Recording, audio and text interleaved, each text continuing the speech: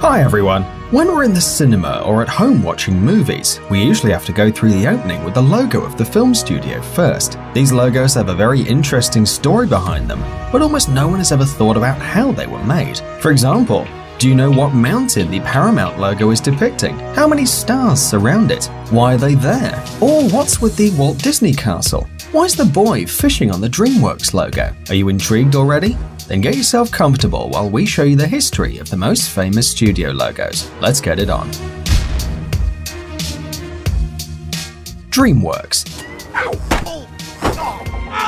One day back in 1994, three brilliant people got together director Steven Spielberg, Disney director Jeffrey Katzenberg, and music producer David Geffen. They decided to create a new film studio that's now known as DreamWorks. We associate the company's name with the fishing boy of the logo.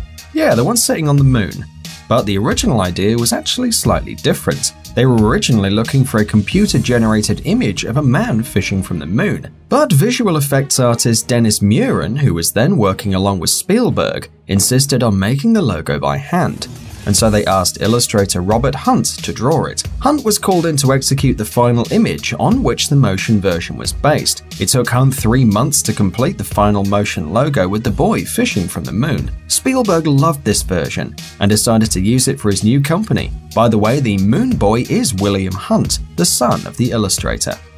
Paramount Pictures the Paramount Pictures Company was created in 1912 by Adolf Zukor, a film investor, and the Frohman brothers, theatre magnates at the time. Originally, the studio went by another name, Famous Players Film Company. The famous Paramount Pictures logo shows a majestic mountain peak covered in snow and surrounded by a ring of stars. It was created by the illustrator William Hodkinson, who based his work on the Ben Lomond Mountain in Utah, where he spent his childhood. The original logo had 24 stars, one for every movie star that back then had a contract with the studio. However, nowadays there are only 22, and no one knows why. Eventually, the logo changed a bit. Now, as a result of technological development, instead of the original mountain picture, we see a computer generated image.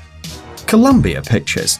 This famous logo depicting a woman holding a torch, a symbol of America, was created in 1924 and showed a lady draped in a US flag and holding a torch. There were no clouds in the background, and the forehead of the woman was covered with a headdress. It looked very primitive, and the whole picture looked more like a sketch. Six years later, the logo was improved. The lady became more elegant, she coiffed her hair and lost the headdress, and the flag was now barely seen.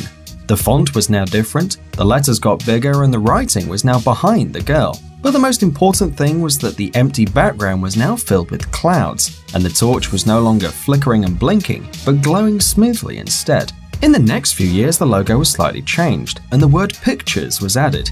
But the now classic look of the logo was created in 1993 after Columbia Pictures was bought by Sony. The logo was repainted digitally by New Orleans artist Michael Diaz. Michael Diaz hired Jenny Joseph as a model for the logo. Diaz decided that the flame shouldn't be so bright and that the logo should mainly focus on the girl. Therefore, she was redrawn more elegant and tender than ever before. Finally, in 1996, the animation was changed. First, you could see the torch and then the rest of the picture. Also, during the opening, you can hear a tune written by Jonathan Elias.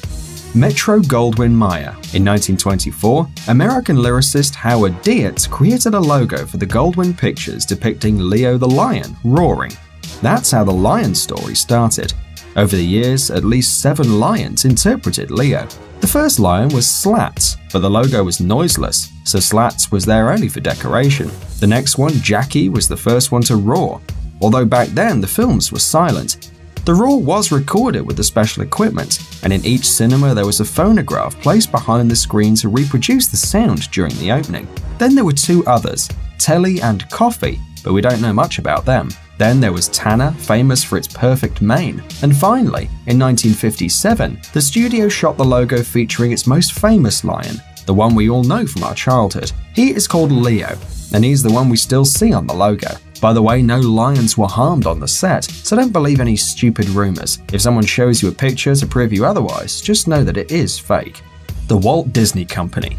Just like Warner Brothers, Columbia Pictures, and many other companies, the Walt Disney Company was founded by two brothers, Walt and Roy Disney.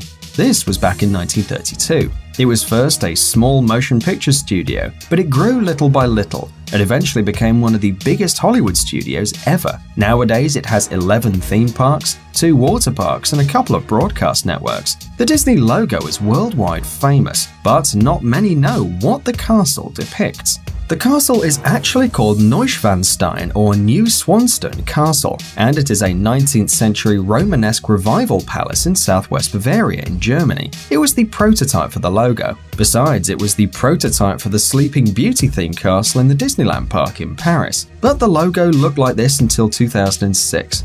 It was then replaced by a totally new 3D computer generated logo created by the Weta Digital Studio and based on another Disneyland fortress, the Cinderella Castle, which used Chateau d'Orsay as a prototype. The new logo was first shown on the premiere of the movie Pirates of the Caribbean Dead Man's Chest. Thanks for watching.